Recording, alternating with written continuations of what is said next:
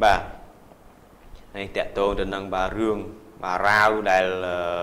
ប្រឈមទៅនឹងបុណ្យសមុទ្រណាបាទមានអាជនដែលមកក្តាប់តូចទេដែលបង្កជាបញ្ហាហ្នឹងបាទក្រុមចៅឆក់និងបាទលោកហៅប៉ៅបាទដសកម្មចំនួន16នាក់និងមេខ្លោងបាទ2នាក់ត្រូវបានសមត្ថកិច្ចខេត្តកោះកុងធ្វើការឃាត់ខ្លួន កាលពីរសៀលថ្ងៃទី14ខែធ្នូឆ្នាំ2014វេលាម៉ោង3:00នាទីនៅស្នាក់នៅស្នងការដ្ឋាននគរបាលខេត្តកោះកុងបានបើកសន្និបាតសន្និសិទសារព័ត៌មានបាទមួយពាក់ព័ន្ធនឹងករណីបង្ក្រាបក្រុមចៅឆក់និងបាទនឹងលោកហៅប៉ៅបាទមួយសម្បុកធំក្នុងទិវាបាទនៃបុណ្យនីពិធីបុណ្យសមុទ្រប្រចាំខេត្តកោះកុងបាទតាមប្រសាសន៍លោកបាទអាយដាមបាទសំបាទសំទោ សសំខាន់វៀនបាទស្នងការនៃស្នងការដ្ឋាននគរបាលខេត្តកោះកុងបានប្រាប់នាយកព័ត៌មានយើងឲ្យដឹងថាក្រុមចៅបង្កសកម្មភាពឆក់បាទលោកហៅប៉ៅទាំងនេះមានគ្នាចំនួន18នាក់ប្រុស8នាក់និងស្រីចំនួន10នាក់ហើយក្នុងបាទការខកខ្លួនក្រុមចៅទាំងនេះសមត្ថកិច្ចបានធ្វើការដកហូតបាល់រថយន្តចំនួន2គ្រឿងមួយគ្រឿងម៉ាកសាមយ៉ុងពាក់ស្លាកលេខបាទ 2T8715 និងទី2ម៉ាកលុយស៊ីបាទ RX 300 ពាក់ស្លាកលេខបាទ2គុយ 51 52ព្រមទាំងសម្ភារៈមួយចំនួនទៀតបាទរួមមានបាទលុយដុល្លារចំនួន4900ដុល្លារលុយបាតចំនួន5350បាតលុយខ្មែរចំនួនបាទ230,000លោហៈធាតុបាទ6ខ្សែចិញ្ចៀន4វងក្រវិល4គូនិងលិខិតឆ្លងដែនចំនួន3និងអត្តសញ្ញាណប័ណ្ណសញ្ជាតិខ្មែរមួយសន្លឹកវិទ្យុតាក់ទង ID មួយគ្រឿងព្រមទាំងកាបូបបាទធំតូចចំនួន24ថែមទៀត ឯកឧត្តមបានបន្តថាក្រុមចៅទាំងនេះបាទគឺមានបាទការចាត់បាទបាទមានការបាទចាត់តាំងបាទយ៉ាងច្បាស់លាស់បាទពីមេក្រុមរបស់ពួកគេហើយខេត្តកោះកុងក៏ពុំដែលមានបទល្មើសរបៀបនេះកើតឡើងនៅដែរនៃពេលកន្លងមកនេះជាលើកទី1ដែលទី1ហើយដែលខេត្តកោះកុងបានប្រារព្ធពិធីបុណ្យសមុទ្រហើយក្រុមចៅដែលមានដែលមកទីនេះសុទ្ធតែជាអ្នកក្រៅស្រុកទាំងអស់ហើយពួកគេមកជាក្រុមមកតែម្ដងដើម្បីជាតិឱកាស បាទឆក់នឹងលោកហៅប៉ៅនៃទិវាបុណ្យសមុទ្រនៅក្នុងខេត្តកោះកុងដែលក្រោយពីការបង្កសកម្មភាពសមត្ថកិច្ចបានធ្វើការបង្ក្រាបបានជាបន្តបន្តរហូតឈានដល់ការខកខ្លួនបានមេក្រុមបាទចំនួន2នាក់បាទទី1ឈ្មោះបាទច័ន្ទសីភេទស្រីអាយុ31ឆ្នាំទី2ឈ្មោះបាទខុនរ៉ាឌីភេទប្រុសអាយុ24ឆ្នាំបាទអាយដាមបានបន្តទៀតថាក្រុមចៅទាំងនេះបំរុងនឹងយកលុយមកធ្វើជាធ្នូដើម្បីដូរយកដោះដូរបាទ ការដោះលែងក្រុមរបស់ពួកគេក៏ប៉ុន្តែសមត្ថកិច្ចមិនបានយល់ព្រមនោះទេហើយនេះគឺជាការដឹកនាំបាទដ៏ឆ្លៀសវៃរបស់បាទអេដាមឧត្តមសេនីយ៍បាទណេតសាវឿនអគ្គស្នងការនគរបាលជាតិអេដាមបានបន្តទៀតថាបាទក្រុមចៅនិងវត្ថុតាងទាំងនោះបាទសមាជិកបាទបាននឹងកំពុងកសាងសំណុំរឿងបញ្ជូនខ្លួនបាទពួកគេទៅកាន់សាលាដំបងខេត្តដោះស្រាយបន្តតាមនីតិវិធីនៃច្បាប់សមាជិកក៏បានអំពាវនាវដល់បងប្អូនប្រជាពលរដ្ឋដែលបាត់បង់របស់ទ្រព្យ សម្បត្តិដោយអំពើចោរកម្មនៅក្នុងឱកាសនៃទិវាបុណ្យសមុទ្រឲ្យមកដាក់ពាក្យបណ្ដឹងនៅស្នងការដ្ឋាននគរបាលខេត្តកោះកុងនិងផ្ទៀងផ្ទាត់វត្ថុតាងដែលសមាជិករហូតបានពីក្រមបាចោទាំងនោះបាទបាទបុណ្យសមុទ្របញ្ចប់ទៅណាលោកធីរ៉ាបាទទៅថ្មីថ្មីឥឡូវនេះមកបាទការពិតអឺអ្នកទាំង18អ្នកហ្នឹងគឺចាប់ក្នុងឱកាសបុណ្យហ្នឹងបាទបាទចាប់មកអញ្ចឹងទៅប្រមូលតុក បាទចាប់មកប្រមូលតុកចាប់មកប្រមូលតុកបាទដល់ពេលថ្ងៃ14ដែលជាថ្ងៃបញ្ចប់នៃទិវាបុណ្យសមុទ្រហ្នឹងចាប់ផ្ដើមសមាជិកធ្វើសន្និសីទកសែតមួយបង្ហាញមកបានអ្នកទាំង18អ្នកហ្នឹងបាទបាទលោកធីរ៉ាបើ18អញ្ចឹងយើងអាចហៅជាមិនវិញមើលទៅបាទនេះមាននឹងមេទាំងកោយណាមានប្រធានអនុប្រធានមានរោងមានអីអស់ហើយបាទនេះយើងនិយាយទៅចូល មកកងពលដែរបាទមកកងពលធំហើយកងពលធំហើយកងពលលេខ18បាទអញ្ចឹងអឺជាឱកាសបាទនៅក្នុងឱកាសបាទបុណ្យសមុទ្របាទពិធីបុណ្យសមុទ្រដែលបងប្អូនជាបរដ្ឋបាទទូទាំងប្រជាជាតិកម្ពុជា បាទគាត់ទៅចូលរួមក៏ដូចជាមានភ្ញៀវបាទអន្តរជាតិដែលមកពីតាមបណ្ដាប្រទេសផ្សេងផ្សេងមកចូលរួម បាទដើរលេងកំសាន្តបាទអបអរនៅក្នុងពិធីបុណ្យសមុទ្របាទនៅខាងខេត្តកោះកុងបាទសម្រាប់ថ្ងៃទី12 13និង14បាទហើយមានជនបាទជាឱកាសទៅទៅគាត់មានកម្រងគាត់មានផែនការគាត់ច្បាស់លាស់ណាស់បាទព្រោះថាគ្នាគាត់ក៏រៀបចំឲ្យអស់ហើយហ្នឹងបាទមានមេខ្លោងមានកូនខ្លោងមានប្រធានក្រុមមានប្រធានតំបន់អីចឹងណាបាទនៅតំបន់នេះខាងនេះអ្នកគ្រប់គ្រងមកមាន ID តាក់ទងទៀតហ៎ បាទអូបាទចៅទំនើបណាលោកសេរាបាទបាទចៅសេរីខ្ពស់ណាបាទបាទខ្ញុំគិតថាពួកគាត់នេះសិតតែមានការវឹកហាត់នៃការលួចអីត្រឹមត្រូវណាបើយើងនិយាយពីចំនួនមនុស្សប៉ុណ្ណេះមុននឹងគាត់មកធ្វើសកម្មភាពសម្រាប់បុណ្យសមុទ្រនេះលោកតារាខ្ញុំជឿជាក់ថាគាត់នឹងគឺពូនកម្លាំងគ្នាក៏គាត់មានការវឹកហាត់សំតង់នេះល្អដែរអញ្ចឹងលោកតារាបើសិនតែតាមខ្ញុំដឹងខ្លះខ្លះពីសកម្មភាពណាបាទ ដូចឧទាហរណ៍ថាខ្ញុំយកទូរស័ព្ទណាដើរទៅប៉ះអញ្ចឹងតែបានទូរស័ព្ទហើយបាទតែប៉ះសេទៅក្រោយ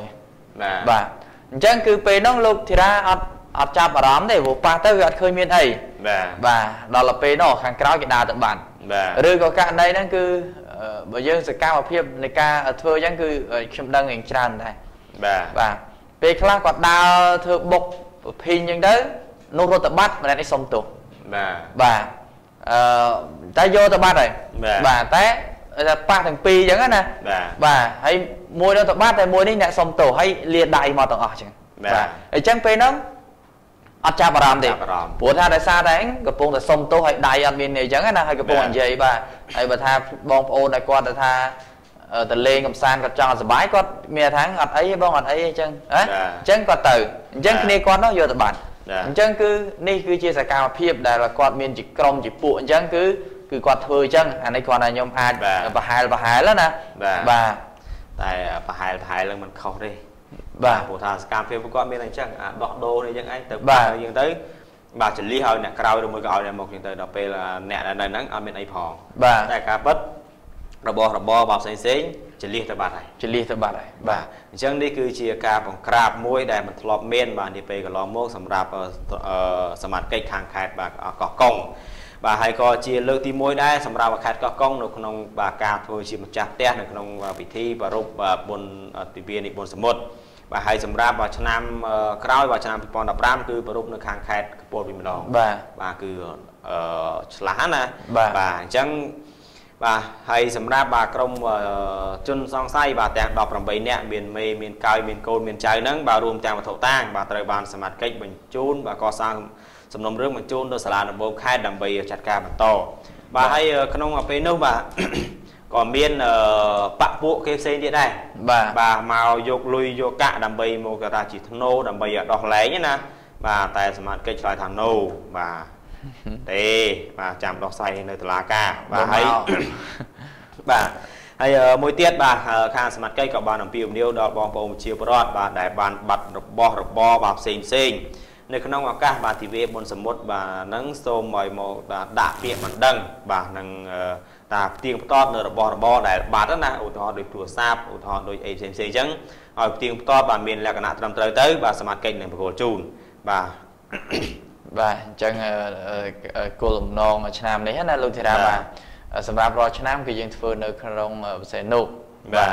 ឥឡូវនេះគឺយើងវិលទៅខាងកោះកុងបាទមូលហេតុដោយសារតែយើងចង់ថាដូចជាការទេសនាមពីឆ្នេរសមុទ្រនៅប្រទេសកម្ពុជាយើង បាទអញ្ចឹងសម្រាប់ក្រុមបសេនុយើងដឹងថាជាឆ្នេរដ៏ល្អឯកហើយបាទអញ្ចឹងគឺខាង ក្រសួងទេសចរគាត់ចង់រៀបចំធ្វើយ៉ាងណាដើម្បីឲ្យភ្ញៀវទេសចរជាតិនិងអន្តរជាតិបានទៅស្គាល់ខាងខេត្តកោះកុងថាតើខេត្តកោះកុងហ្នឹងក៏មិនចាញ់នៅខាងប្រទេសអនុដែរបាទអញ្ចឹងគឺឥឡូវនេះសម្រាប់ខេត្តកោះកុងគឺមានការរៀបចំឆ្នេរមានចំអីអភិរក្សអីស្អាតណាស់បាទនិយាយទៅគឺអាចភ្ញៀវជាតិភ្ញៀវអន្តរជាតិឥឡូវហ្នឹងគឺបានស្គាល់ហើយបាទស្គាល់ក្នុងពេលទិវាបុណ្យសមុទ្រនេះហើយជាបន្តហ្នឹងគឺត្រូវតែរៀបចំទៀតតាមព័ត៌មាន បាទថានឹងរៀបចំបន្តទៀតគឺដើម្បីថាឲ្យថាបណ្ដាប្រទេសជិតខាងក៏ដូចជាភ្ញៀវអន្តរជាតិគាត់បានស្គាល់ថាប្រទេសកម្ពុជាមិនមែនមានតែឆ្នេរនៅប្រទេសនោះដែលល្អឯទេមាននៅកោះកុងបាទឆ្នាំក្រោយហ្នឹងគឺទៅកពតទៀតបាទអញ្ចឹងកពតគឺត្រូវតែរៀបចំអភិរក្សឲ្យស្អាតចឹងទៀតបាទអញ្ចឹងគឺដើម្បីឲ្យបាទបរទេសក៏ស្គាល់ថាប្រទេសកម្ពុជាហ្នឹងគឺណែមានឆ្នេរសមុទ្រនេះស្អាតស្អាតណាស់ហើយសិតតែជាធម្មជាតិ បាទថាឆ្នេរធម្មជាតិគ្រាន់តែយើងថាអភិរក្សបន្តិចតួចយើងមើលទៅអនាម័យអីអីចឹងទៅមើលទៅស្អាតលឹងតែម្ដងបាទចាំបាច់យើងថាកែច្នៃអីច្រើនអីអត់ទេបាទអញ្ចឹងគឺយើងអាចតាក់ទាញភ្ញៀវអន្តរជាតិបានដោយគេហៅថាទេសចរនឹងតែម្ដងហើយទេសចរនេះគឺជាចំណូលដែលអត់មានរីងស្គួនទេបាទអញ្ចឹងឲ្យតែរៀបចំស្អាតប្រព័ន្ធសុវត្ថិភាពមានល្អបាទសន្តិសុខអីហ្នឹងគឺយើង ធ្វើឲ្យភ្ញៀវគាត់កក់ក្ដៅទៅគាត់ទៅលេងទៅ បាទផ្លូវថ្នល់យើងរលោងស្អាតអីទៀតបាទអញ្ចឹងគឺចំណូលមិនចេះរីងស្ងួតទេមកជាលហោហែហើយយើងវិលមកខាងរឿងនេះវិញ គឺជាការបាទដឹកនាំដល់មានភាពឆ្លៀសវៃបាទដែលលោកតារាខ្ញុំមិនដែលជួបទេថាប្រក្រាបម្ដង18នាក់អីចឹងណាបាទអញ្ចឹងគឺគាត់អត់ឲ្យដឹងទេបាទបាទអញ្ចឹងបើថាក្នុងថ្ងៃទី1ចាប់បាន5ក៏ទុក5 បាទថ្ងៃទី2គាត់បាន6ក៏ទុក6បាទថ្ងៃទី3បានទាំងអស់ទុកមកទាំងអស់បាទហើយសម្រាប់ដូចប្រក្រាបដំបងតែ16ទេបាទតែ2នាក់នោះគាត់យកថវិកាមកដោះដូរបាទមកដល់ក្រឹបតែហ្នឹងដោះដូរតែហ្នឹងហើយអញ្ចឹងបាទឥឡូវជាប់ទាំងទាំងមេហ្នឹងទៀតបាទអញ្ចឹងគាត់ថាហេពងអារោមុខមេយូរហើយឥឡូវបាទដល់ម៉ោមបាទដល់វេនមេម៉ោម បាទអញ្ចឹងនេះចូលលក្ខណៈក្រុមហ៊ុនចៅណាបាទគ្នា7 8ដប់ណែអាចមកកើតជាក្រុមហ៊ុនបានហើយបាទមានកូនមានចៅមានមេមានកោយមានប្រធានតំបន់អីដូចខ្ញុំជម្រាបអញ្ចឹងបាទទៅជាក្រុមហ៊ុនចៅនេះយើងអាចថាសមាគមចៅបាទសមាគមចៅបាទពុំមានណាបាទតែឥឡូវនេះមិនបញ្ហាទេត្រូវបានបញ្ជូននៅតុលាការហើយបាទហើយធ្វើយ៉ាងណាបាទចាត់ការបាទឲ្យរៀងចោលម្ដងបាទកុំឲ្យដល់មកកើនបាទជាប៉ាពោះហើយ បារាកែនគ្នាដើម្បីរកស៊ីអីមួយអាហ្នឹងវាមិនសូវអីណាបាទបាទតែដល់ពេលកើនកែនគ្នាមកបង្កើតជាសិក្ខាសាលាមួយបង្រៀនលួចតែម្ដងបាទអង្គវិធីបាទអង្គវិធីសិក្ខាសាលាមួយបរៀនលួចបាទទៅធ្វើម៉េចធ្វើម៉េចបាទហើយដល់ពេលបានមកត្រូវចលៀសចេញយ៉ាងម៉េចយ៉ាងម៉េចបាទហ្នឹងជឿជាក់ថាគាត់មានព្រោះថាគ្នាគាត់សឹង20នាក់អីអញ្ចឹង មិនថានេះជំនាញដូចដូចគ្នាបាទវាខុសគ្នាតែគ្រាន់ថាអាចមេខ្លៅហ្នឹងគាត់បើកជាថាមុននឹងថ្ងៃចិត្តដល់ថ្ងៃណាបាទគាត់ចាប់ផ្ដើមបើកជាសិក្ខាសាលាបាទត្រេនកូនចៅបាទឲ្យធ្វើការមានភាពស៊ីចង្វាក់គ្នារវាងអ្នកមុខរវាងអ្នកក្រោយបាទអាអ្នកមុខលុកខ្វាច់ទៅសេរីអ្នកក្រោយខ្វាច់ខាងក្រោយនោះពីនបាត់ទៅខាងមុខនេះអូសុំទោសបងសុំទោសបាទសុំទោសបាទខាងនេះនោះដល់ពេលចូលនៅក្រុមវាថាអត់អីទេអត់អីអត់អីគ្រាន់ប៉ះប៉ុណ្ណឹងបាទសារបាត់ដល់កន្លែងហូបចុក ដាក់ប្រហិតមួយចានមកអស់តែ20000ទេគិតលុយអត់មានលុយឲ្យគេបាទដឹងថាអូចោលបាទចោលតើអាមួយសុំតោញាប់មកឆ្មេហ្នឹងអញ្ចឹងលោកធីរ៉ាបាទយើងនិយាយអញ្ចឹងណាបើឧទាហរណ៍តែពេលគាត់អឺទៅដល់វិញណាគាត់ទៅអ្នកដែលគាត់បាត់បង់ទ្រព្យរបស់ណាគាត់ទៅយកវិញគាត់ថាអូសុំទោសខ្ញុំនឹងញាប់មាត់បាទឥឡូវសុំទោសម្ដងទៀតមើល សុំឡើងចេញហើយតែប៉ុណ្ណឹងសុំឡើងចេញហើយឥឡូវត្រូវបានជាប់នៅការបាទជាប់តាក់របស់សមាជិកកងហ្នឹងការប្រតិបត្តិការរបស់សមាជិកហើយបាទអញ្ចឹងឈប់ទៅបាទយើងសង្ឃឹមជឿជាក់ថាអឺក្រោយក្រោយទៀតលែងមានណាហើយក៏នេះក៏ដូចជាជូនដំណឹងទៅដល់បងប្អូនប្រជាពលរដ្ឋអឺដែលមានកម្រងថាចង់ចូលរួមបុណ្យសមុទ្រនេះឆ្នាំក្រោយណាបាទកុំមានការភ័យខ្លាចអី បាទព្រោះនេះជំហានដំបូងគឺប្រកាសបានប៉ុណ្ណេះអញ្ចឹងធ្វើឲ្យក្រុមដែលគាត់ឆ្លៀតឱកាសលេងហ៊ានហើយបាទអញ្ចឹងគឺយើងសង្ឃឹមមួយឆ្នាំក្រោយគឺលេងមានតែម្ដងបាទហើយឥឡូវនេះដល់យើងឃើញថាសមត្ថកិច្ចឥឡូវនេះគឺមួយចំនួនធំដែលគាត់ថាមានថាការបង្ក្រាបហ្នឹងគឺគាត់ថាមានការបង្កើនកំណត់បង្ក្រាបហ្នឹងគឺខ្ពស់ណាស់បាទអញ្ចឹងដូចជាសកម្មភាពនានាដែលយើងនឹកស្មានថានឹកស្មានមកដល់តែឥឡូវនេះសមត្ថកិច្ចដឹងទាំងអស់ បាទថាកវិចកវៀនស្ទាយមិនអីក្បាច់មិនអីអ្នកខ្លាំងឆ្វេងអ្នកខ្លាំងស្ដាំអ្នកខ្លះខ្លាំងមិនក៏ដោយ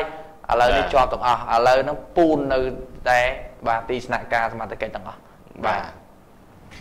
បាទអញ្ចឹងអរគុណបាទបងប្អូនបងទុជនហើយសម្រាប់ព័ត៌មាននេះបាទយើងខ្ញុំទាំងពីរនាក់ក៏សូមបញ្ចប់ត្រឹមប៉ុណ្ណេះបាទហើយជាបន្តទីនេះបាទសូមលោកចន្ទាបាទបន្តរឿងយើងជាបន្តទៀត